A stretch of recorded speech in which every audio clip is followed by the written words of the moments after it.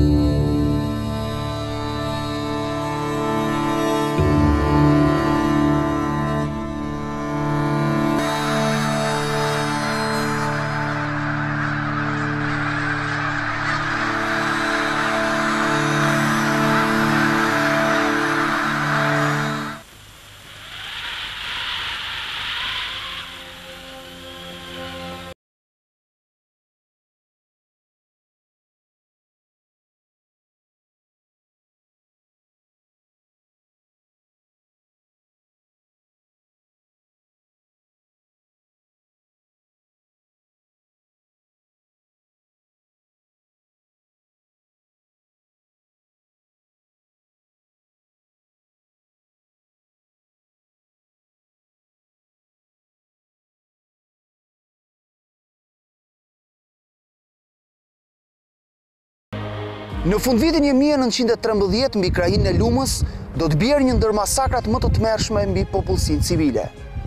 Ushtria serbe do të shkelë fshat më fshat, duke lënë pas shkatërrim dhe viktima të pafajshme. Sulmet më të ashpra u bënë mbi fshatrat e Topojanit, të cilat jo më kot u quajtën edhe balli i përgjakur i Lumës.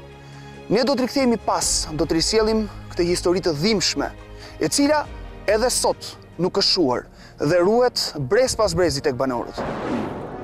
Lufta e Parë Ballkanike që nisi në tetor një mijë e nëntëqind e dymbëdhjetë, objektiv parësor kishte shkëputjen e vendeve të Gadishullit nga pushtimi turk. Por, paralelisht, ajo u kthye edhe në një sfidë se kush do të rrëmbente më shumë troje nga territori shqiptar. Nëse Serbia, Bullgaria, Mali i Zi e Greqia kishin trupa ushtarake të organizuara, shqiptarët mbroheshin vetëm përmes çetave, që përbënin një numër shumë të vogël krahasuar me fuqinë e rregullt të vendeve të tjera. Në kushtet kur edhe përkrahja e ndërkombëtarëve mungonte, Shqipëria rrezikonte seriozisht ekzistencën e saj. Rrethimi i Shkodrës nga malazezët, përparimi i serbëve në krahun tjetër, e vunë Shqipërinë në një morsë mbytëse. Synimi ishte pikërisht ky, të pengohej me çdo kusht pavarësia e shtetit shqiptar. Pasojat ishin vështirë të parashikueshme, Nëse ky vrull nuk do të ndalej apo ngadalësohej. E në fakt kështu ndodhi. Ushtritë serbe u përplasën me një mur të pakalueshëm në krahinën e Lumës.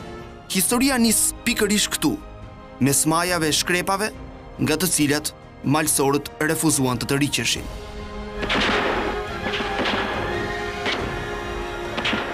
Jehon pushka n'Koritnik, në luftë me hasmin fyt për fyt, Topojani n'kamb asht çue, pa gjak venin mos me lëshue.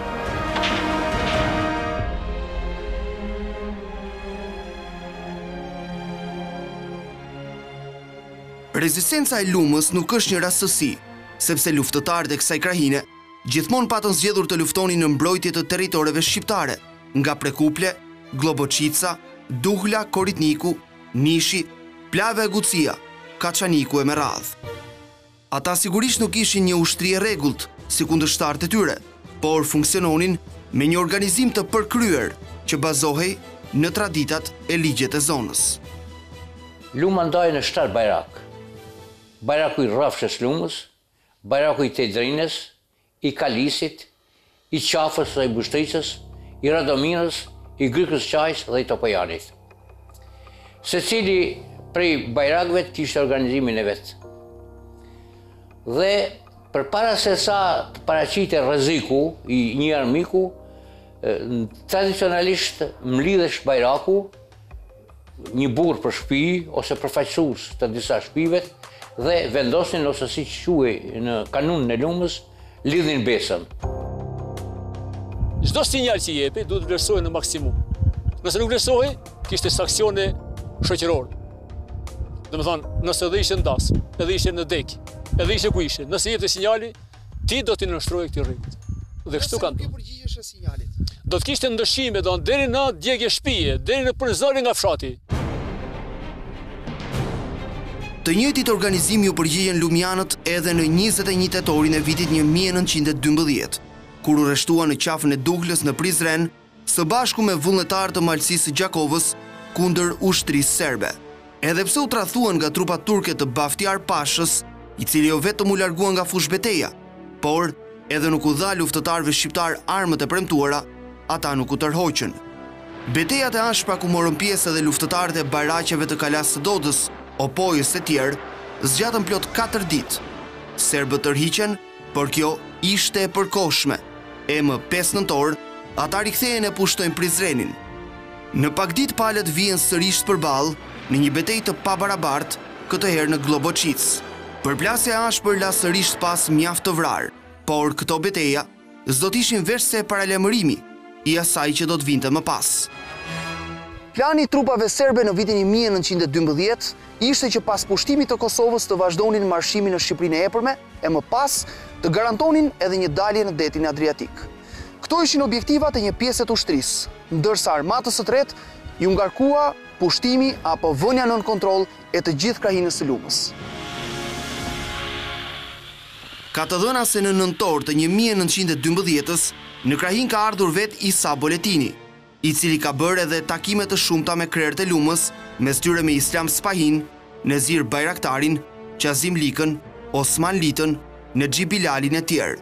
Pikërisht këta, së bashku edhe me figura qendrore, si Ramadan Zaskoci, Elez Isufi, Bajram Gjana, Cen Daci, Jemin Alia, Sali Çaja e krerë të tjerë, do t'i prinin luftës. Objektivi ishte vetëm një, të ndalej ushtria serbe. ndërkohë që patriotët shqiptarë në krahun tjetër po përgatisnin shpalljen e pavarësisë. Kudo në këto shpija, në këto familje u bisedue dhe u morën masa pregatitore. Pra duhet thënë se ardhja e Isa Buletinit në Lumë, i cili po e vazhdoi pastaj udhëtimin për në. Për në Vlorë ka qenë një nga faktorët kryesorë. Megjithatë, forcën nuk e solli Boletini. Aty e gjeti, e gjeti, e gjeti atë zjarrin, atë zjarr lumjanët e kishin, e kishin të nezun. Ndaj ditët e para të nëntorit shërbejnë për të rritur nivelin e organizimit, mbledhur informacion, e shtuar numrin e luftëtarëve. Trupat serbe ishin në prag. Marshimi i tyre u shoqërua me beteja në qafën e Zhurit, deri në Grykën e Morinës. Luftëtarët shqiptarë dukshëm po ndiqnin një skemë të qartë. Ata ngadalë po tërhiqnin gjithnjë e më thellë ushtrinë serbe. Tërheqjet e para nuk ishin asgjë tjetër përveçse një skemë e mirëfilltë ushtarake. Gjithçka kulmon në pesëmbëdhjetë nëntor, një mijë e nëntëqind e dymbëdhjetë, kur shpërthen ajo që njihet si Lufta e Madhe e Lumës. Është në përmasa të një legjende, udhëheqësit e të gjitha bajraqeve i përgjigjen thirrjes Ramadan Zaskocit dhe Islam Spahisë për të pritur ushtrinë serbe e cila kishte kaluar Vërmicën, Rrafshën e Lumës dhe pritej në Qafë të Kolesjanit. Beteja qe e përgjakshme, pjesëmarrja e të gjitha bajraqeve edhe të Lumës dhe Dibrës ishte masive. Për të kuptuar sa e pabarabartë ishte kjo luftë, mjafton të analizosh numrin e trupave serbe dhe atyre shqiptare. e për më tepër edhe armët që përdornin të dyja palët. Kaq mjafton për të bërë diferencën e jashtëzakonshme që ekzistonte mes dy fronteve. Nga njëri krah, ushtria e përgatitur dhe me eksperiencë serbe, e në krahun tjetër, luftëtarët në numër shumë herë më të vogël e të keqpajisur shqiptarë. Por, cili ishte rezultati i fushëbetejës? Luftëtarët shqiptarë nga të gjitha bajraqet e Lumës, Kalasë së Dodës e dibranëve të prirë nga Elez Isufi etj., nuk ishin më shumë se dy mijë, ballë disa fish ushtarëve serbë, të cilët mbështeteshin edhe nga artileria e lehtë dhe e rëndë.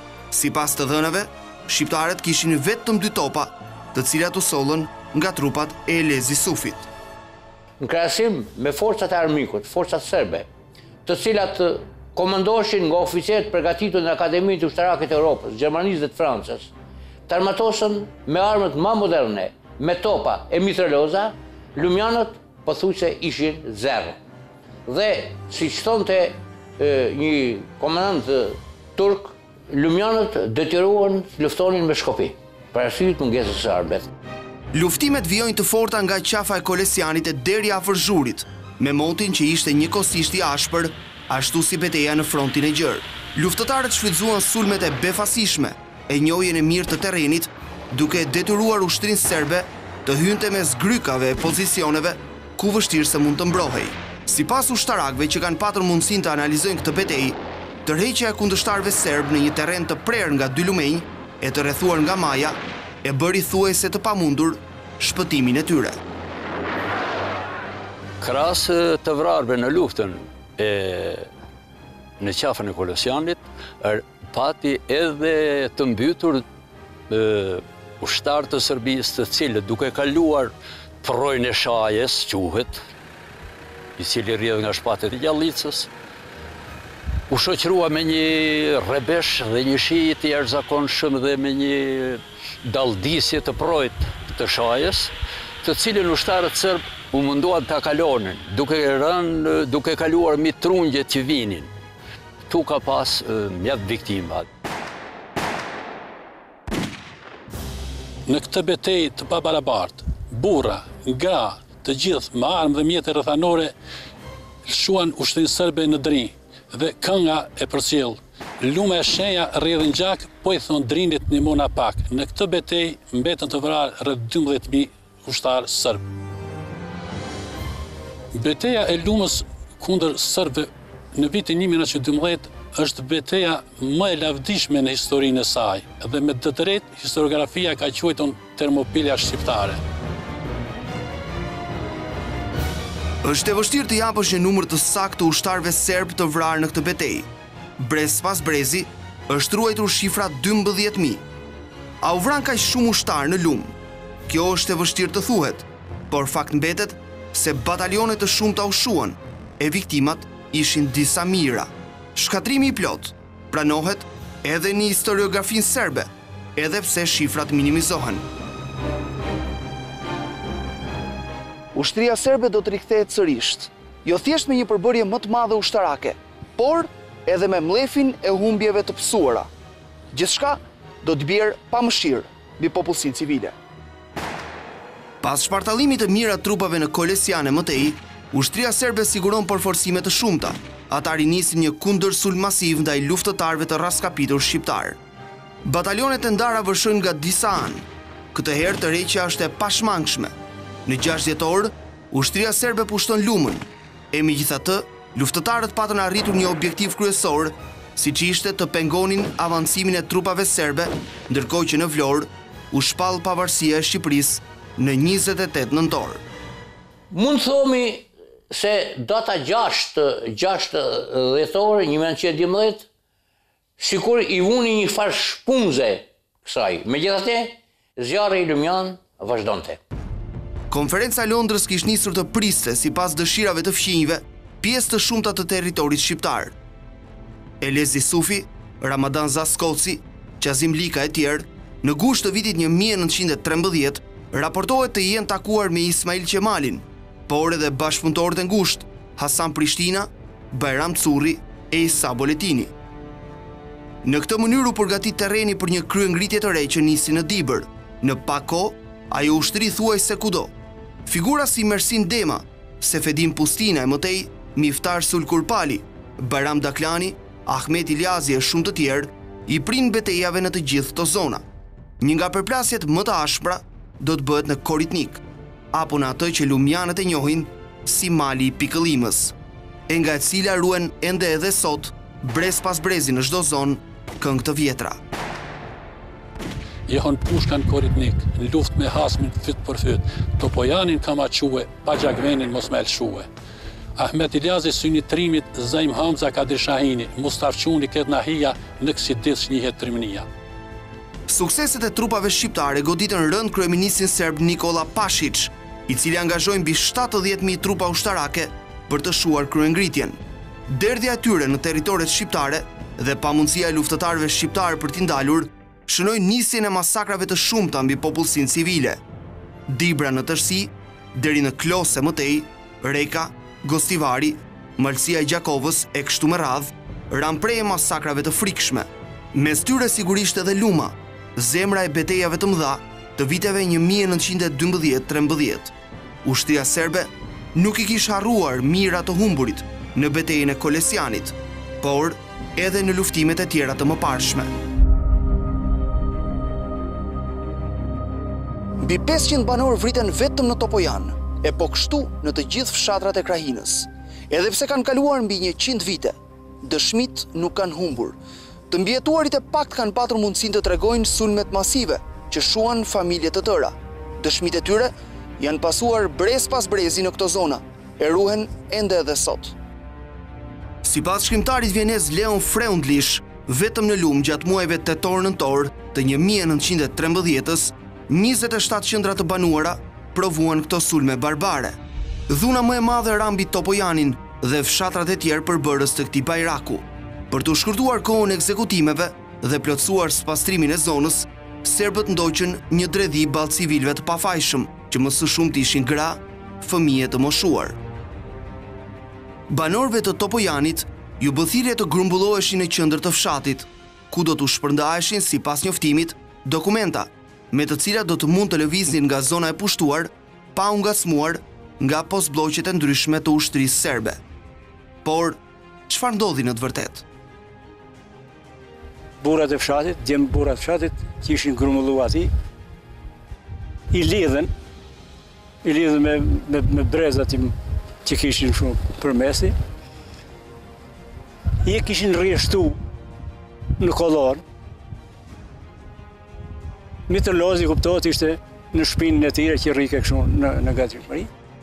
Pushkatimi vonohet vetëm pak minuta, E kjo për shkak të reagimit të papritur të një prej luftëtarëve të vjetër e me eksperiencë, i cili edhe mundi të shpëtonte.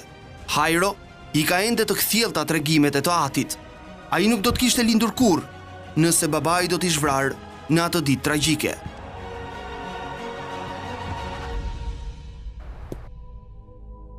Na afruan në fërkepë se këto patit madhëti, na lidhen me Me brezat tanë çka kishin aty.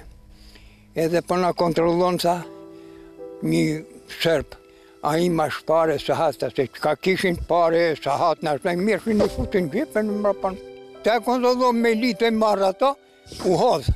E morët ushtarin për pare, ushtari të pa i qenë, në kim me thanë, që shkë me, me, me, me pështuë. Për të tjerët fati nuk ndryshon, ata masakrohen barbarisht.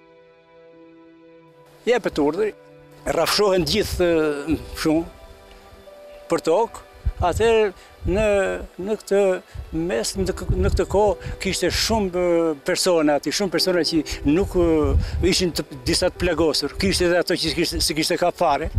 Po siç tregonin ata, nga Disa persona aty ka pas reagime, ka pas reagime dhe ato kanë konstatu që nuk janë vra të gjithë. Pastaj ato kanë kthy edhe njëherë t'i kontrollu dhe për çdo kufomë t'i lshu edhe nga ni plumb.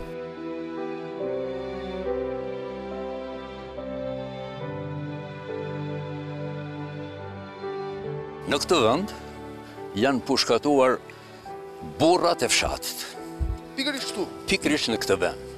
Të cilët janë varrosur nga fshatrat fqinje, si Shishtaveci, Kollovozi, Novosej, Shtrezja dhe varrimet janë bërë në një varr Masiv, varr kolektiv, ku janë futur shtatë, tetë, dhjetë, po dhe njëzet veta në një gropë, të mbuluar me rroba ça kanë mund me gjetë.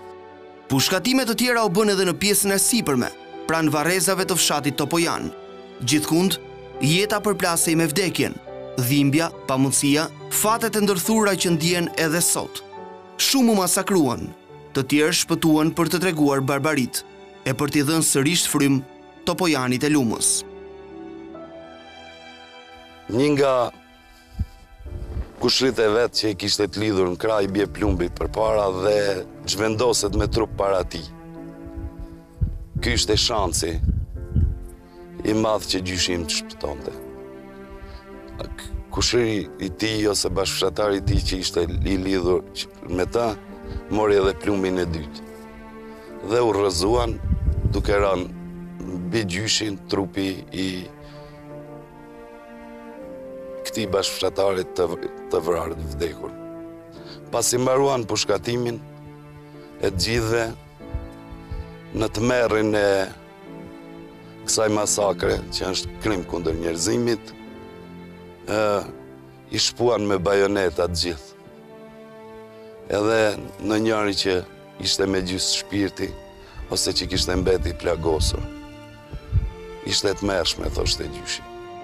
Duke u fshehur në trupat e vrarë, pati banorë që shpëtuan, shumica të plagosur, të gjymtuar, apo me plagë të rënda. Në ato kohë nuk kishte spitale, nuk kishte shërbime shëndetësore, e shpëtimi mund të vinte vetëm përmes mjekësisë popullore. E në krahinën e Lumës, atë e bënte Idriz Kola. Tek ai u përplasën të gjithë ata që mundën të shpëtonin, duke u fshehur në trupat e vdekur. Momente të veçanta që tregohen gjatë kohës së pas masakrës kanë qenë raste që kanë të bëjnë me shndërrimin gati-gati të shtëpisë së stërgjyshit tim në spital të trajtimit me anë të asaj mjekësie që ekzistonte në atë kohë për trajtimin e të dëmtuarve, ku një rast i cili tregohej nga familjarët e mi kishte të bënte me më shumë se 20 të plagosur që janë trajtuar me ditë të tëra në familjen e stërgjyshit tim në Kollovoz. Topojani ashtu si e gjithë krahina jeton me këto histori. Jeton me frymëmarrjet e saj, me atë që kanë lënë pas e atë që nuk është shuar edhe sot. Këngët epike ruajnë çastet tragjike të atyre sulmeve, ashtu si betejat e mëdha, nga të cilat lumjanët nuk u tërhoqën kurrë.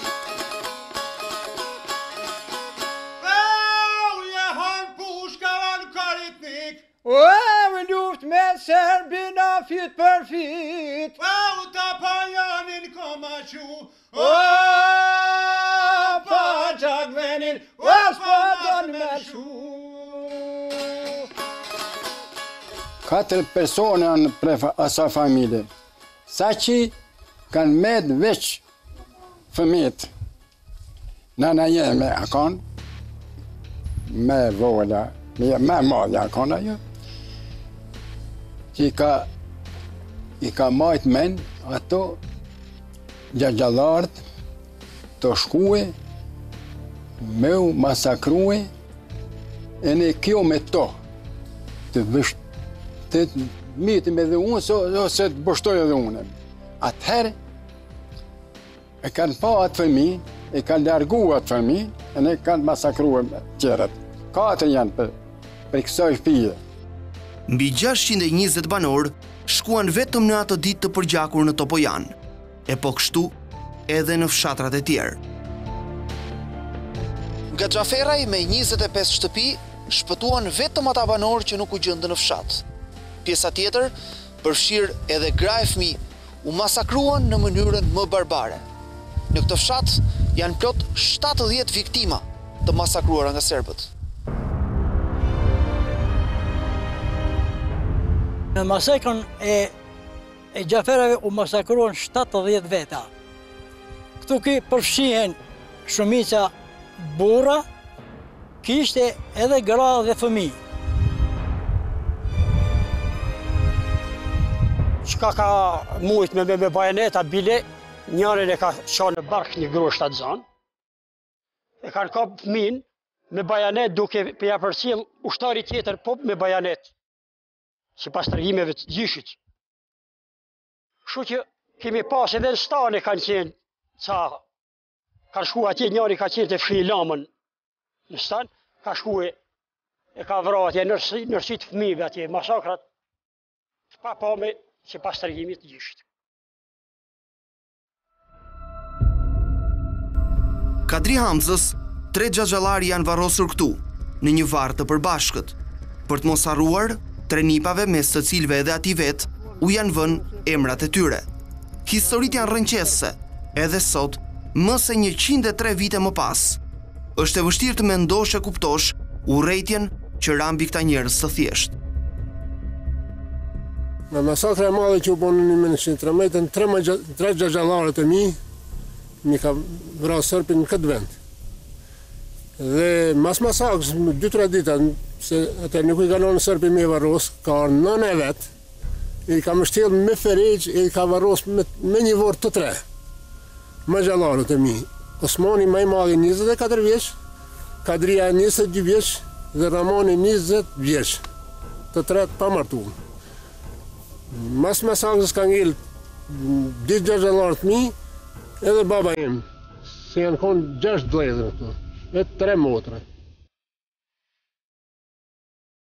Goditjet masive ndaj popullsisë civile vazhduan edhe në Lojme, ku më se gjashtëdhjetë shtëpi u dogjën, ndërsa burra, gra e fëmijë u therrën. Nga Nimça, sipas të dhënave, shpëtuan vetëm disa banorë, të tjerët u masakruan. E po kështu në Novosej, ku fshati u shkrumbua, Gjithkund vrasjet pasoheshin edhe me grabitjet e gjësë së gjallë e çfarëdo lloj pasurie tjetër që u gjet nëpër shtëpitë e banorëve. Edhe në Brekije, njëqind e pesëdhjetë shtëpi u dogjën e shumë banorë u vranë.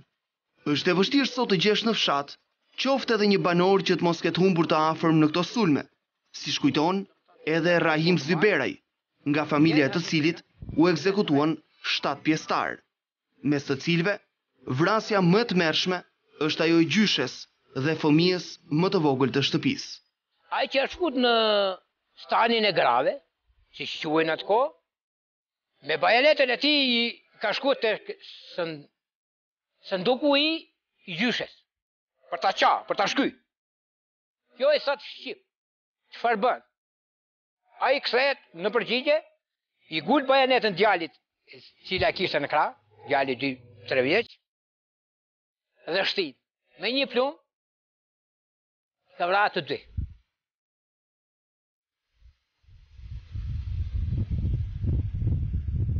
Një koincidencë, një rastësi në atë kohë qytrqet tona, kanë qenë me një palë, me një xhep, xhepin në anë djathtë. Ky e pret para rrobaqepësi dhe gabimisht e pret xhepin në anë majtë. Në anën e majtë ka patur thikën, ka qëllu thika rastis, babai vet e ka nxjerrë thikën nga xhepi, e kanë hapë me dhamë, ka pre të tre brezat, të vetin, të babës vet, dy mixhallarëve që ka pasaj. Dy mixhallarët e tij largohen dhe ikin përpjetë marrin rrëpirës, uh, s'ka lërë një ushtarak që ishte i vënë në vend, ata, sepse i kishte përballë, babai tij ka ikë në këtë pozicion, ndërsa ai ka ikë në krahun tjetër. Ka qenë historia e tij që ai ka ka shpëtu bashkë me babain e vet. Dy mixhallarët e vet janë vra. Ushtria serbe u derdh në të gjithë Lumën. Fshati Palush u dogj fund e krye me banorët, Kalisi, Luseni, Ujmishti, Surroi, Përbregu. Gjithkund u rrafshuan shtëpi, u vranë banorë, u grabitën ç'të mundeshin në të gjallë e në të vdekur. Masakrat e këtushme ishin aq të mëdha dhe aq ekstreme, sa tronditën edhe opinionin ndërkombëtar. Ja se si i përshkruajnë ato disa ndër gazetat më të njohura të kohës. Nëse dikush dëshmitë e mbartura të banorëve brez pas brezi i quan ndoshta të pabesueshme për shkak të tmerrave që ato përcjellin, mediat ndërkombëtare janë faktuesi më i fortë. Masakrat ishin aq të tmerrshme sa veç krahinës përgjakën edhe faqet e shumë gazetave. Historia nuk njeh persekutime më të flliqura se pasojën e llahtarës së duarve dhe shpirtit të trupave të gjeneral Jankoviçit. Çudi e madhe!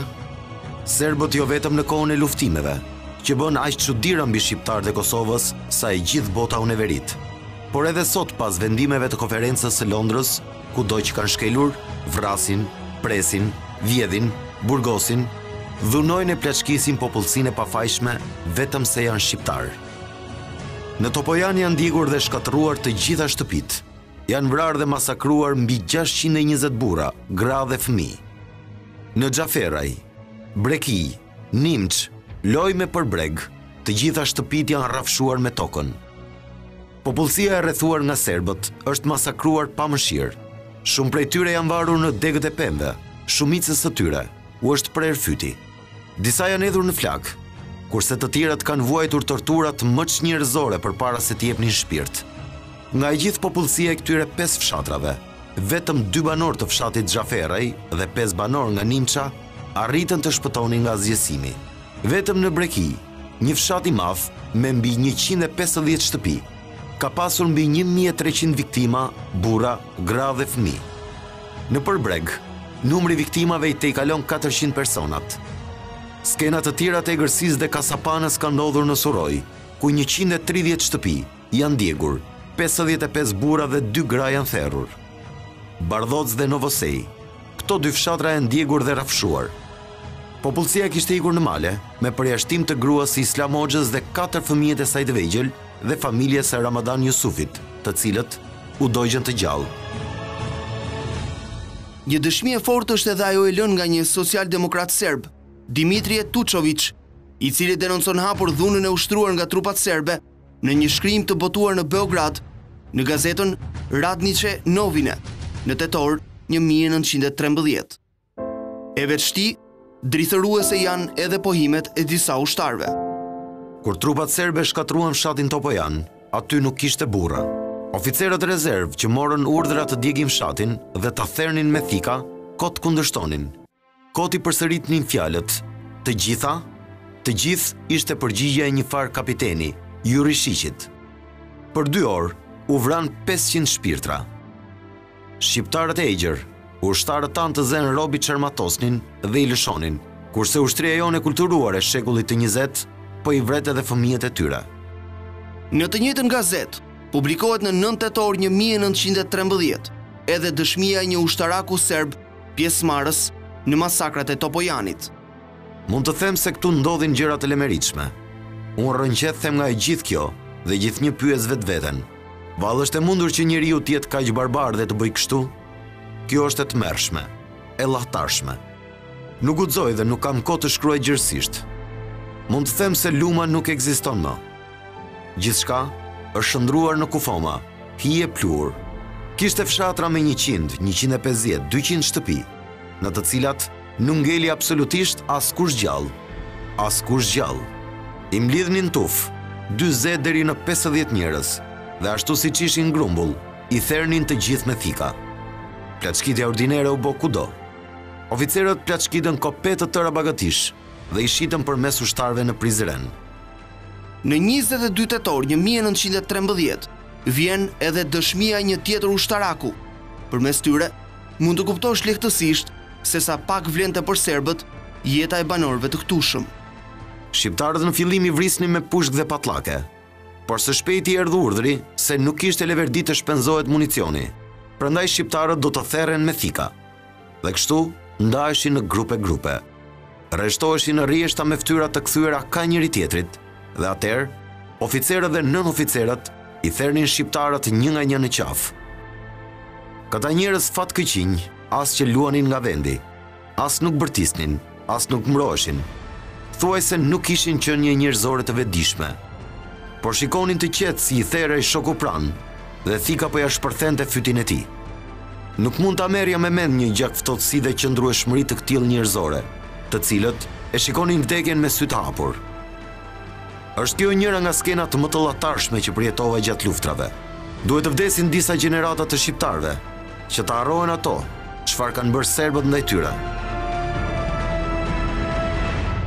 Por pse këto masakra të tmerrshme në Lumë? ranë më së shumti mbi Topojanin e fshatrat e tij.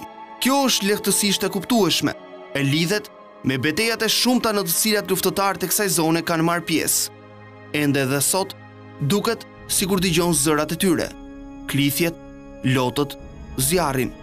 Ndoshta, sepse ata prehen sërish në këto varre masive, të gjithë së bashku si atëherë.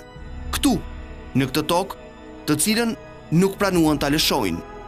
Urdhri ishte për të zhdukur Topojanin, për të zhdukur Lumën, por kjo nuk ndodhi, sepse të gjithë ata që ikën nga dhuna e vrasjet barbare u rikthyen sërisht për të mbajtur atë që paraardhësit e tyre nuk e kishin lëshuar. Këto fëmijë pa prindër, Këto gra që ngelen për të jetu e për të rrit fmijt, morën rrugë të ndryshme nëpër farefis, në zona të ndryshme, ato u shtrinë deri në Tetovë, ku sot janë kriju lagjet atje, u shtrinë Prizren, vazhdun në Shqipërinë e Mesme, dhe më vonë pasi janë rritur kalamajt, janë ba në një moshë relativisht për të qenë të aftë për punë, Kanë ardhë dhe kanë ndërtu shpijt prap në vendlindje. Në fakt ata u masakruan dy herë, të parën nga serbët, e të dytën nga heshtja që edhe sot shoqëron këto ngjarje të tmerrshme. Serbët ikën në fundvitin 1915 dhe në fillimin e atij 1916, u rikthyen sërish disa herë, derisa u stabilizua shteti shqiptar. Por Lumjanët, Dibranët e të gjithë këto zona i gjetën sërisht aty, të masakruar, por të pashuar e të gatshëm sërisht për t'u ringritur.